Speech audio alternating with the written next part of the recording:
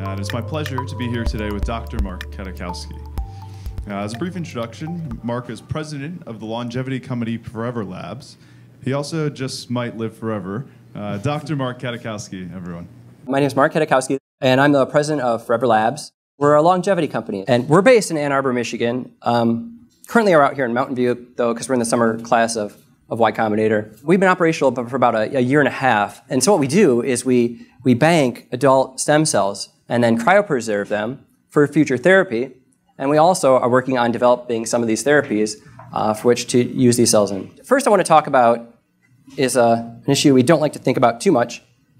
So, how do we die? In middle age, we start to die of causes that are quite similarly related. They're called age-related diseases, and, and so that's heart disease and the number one killer in cancer, stroke, and, and uh, lung disease, dementia. What they have in common is they are caused by a dysfunction at the cellular level, which leads to dysfunction at the tissue level, which leads to systemic failure. So, what are we doing about it? We are developing technologies that are enabling us to work with our biology in very subtle ways to actually do maintenance and improvement on a cellular level. And by doing so, we're able to prevent the dysfunction of cells um, and we're also able to actually sometimes undo some dysfunction in cells and restore the health on the cellular level. The, the definition of what a stem cell is, is it's just a, it's a cell that can do two things, two important things. One, divide almost indefinitely. The other important thing that stem cells can do is they can divide into multiple tissue types. But there's a third characteristic that doesn't define stem cells, but something they generally have. They have a powerful influence on the tissue around them. What that means, especially in the context of injury, it means they can, they can promote healing, they can decrease inflammation and promote regeneration and um, and so that's why we were looking at can we use these cells to treat stroke? But there's this problem the stem cells that we're using are, are declining, and when you're more likely to have a stroke, you, all your stem cells have, have gone downhill.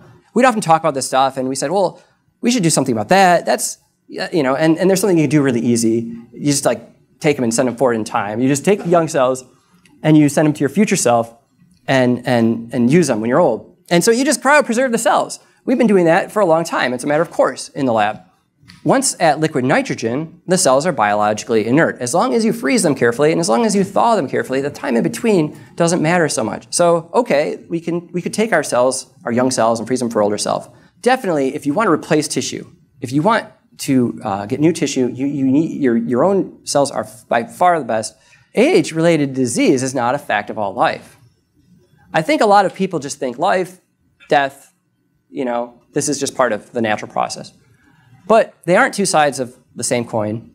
Amoebas and other singular cellular organisms, they don't necessarily age. So an amoeba, when it divides, you don't have a young amoeba and an old amoeba.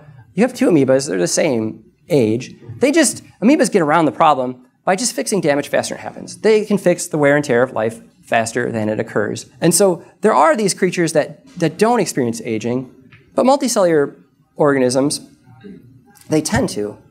But it does beg the question and this is something that we were often talking about. Do, does this have to happen? And if we could, if we could do like the amoeba, and we can do maintenance on a, on a low a cellular level, and a, could we prevent um, the aging process in humans? I don't want to be unrealistic. It's a hard, it's a difficult problem. You got entropy to deal with, and so there's disorder whenever you're trying to create order in biology. There's generally a lot of different uh, loops um, and, and shared mechanisms. And, uh, and that, that makes this a, a difficult um, problem to address. So we've delivered, we've, we've developed this, what we, you know, is like kind of a hack, right? Not enough technology.